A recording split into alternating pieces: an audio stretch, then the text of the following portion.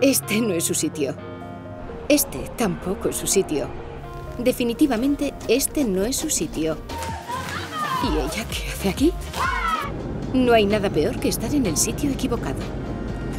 Más de la mitad de la materia orgánica que generamos la depositamos en el contenedor de resto, y ese no es su sitio. Para aprovechar la materia orgánica y proteger el medio ambiente, es nuestro deber depositarla en el contenedor marrón. Este sí es su sitio.